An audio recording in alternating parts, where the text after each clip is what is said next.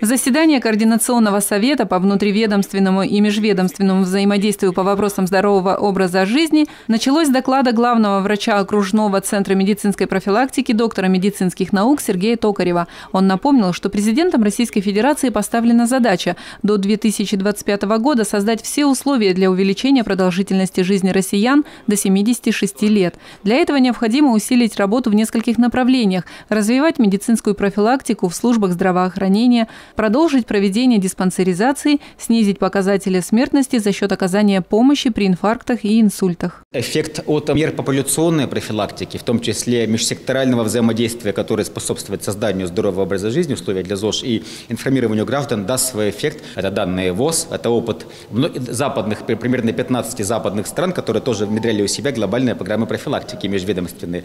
Так вот, эффект от них значимый появляется через 5-10 лет. Заботясь о своем здоровье сегодня, мы делаем огромный вклад в будущее, сказал на заседании Координационного совета заместитель главы администрации города по социальным вопросам Маргарита Черешнева. Здоровый образ жизни – это задача, которая стоит перед всеми, независимо от того, кто где работает. Конечно, мы еще все время говорим о том, что медики одни не справятся с тем, чтобы вот сформировать такую идеологию здорового образа жизни у всех наших горожан. Поэтому Координационный совет у нас такой достаточно э, широкий, э, поэтому мы туда включили производственников, и они с нами очень активно сотрудничают. Основной причиной смертности в округе и в Губкинском являются заболевания сердечно-сосудистой системы, отметила на совещании главный врач городской больницы Светлана Боровкова. Кто умирает от сердечно-сосудистых заболеваний? Это мужчины. 82% из умерших – мужчины, 18% – женщины. Эти женщины, которые умерли от сердечно-сосудистых заболеваний, они были уже старше трудоспособного возраста, но у них была серьезная сопутствующая патология в виде диабета, а, алкоголизма, избыточного веса, что вот и привело тоже к этим летальным исходам. Формированию здорового образа жизни в последнее время уделяется огромное внимание. Проводится большая просветительская работа. Население привлекают к занятиям физкультурой и спортом. В частности, с недавнего времени в городе стартовал проект «Скандинавская ходьба».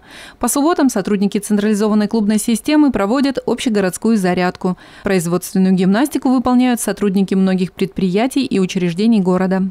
На сегодняшний день участниками этого проекта в нашем городе являются 57 учреждений, это более 3400 человек. Большую часть составляют это предприятия Пурнефтегаза, Газпром добычи, три промысла, органы местного самоуправления, это администрация города Губкинского со своими структурными подразделениями, учреждения средства массовой информации, здравоохранения, образовательные учреждения, все участвуют в этом проекте. Как отметили на встрече, с каждым годом увеличивается количество людей, занимающихся спортом. И это хороший задел на будущее. Один из ключевых моментов – формирование принципов здорового образа жизни в детстве. В этом году Министерство транспорта вышло с инициативой провести акцию «На работу на велосипеде». Планируется, что она пройдет 19 мая и 22 сентября.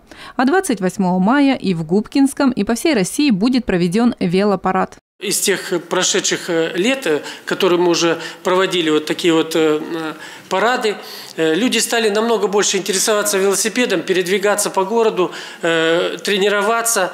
Кроме того, в этом году в первые выходные сентября во время празднования Дня города в Губкинском намечено проведение фестиваля ЗОЖ.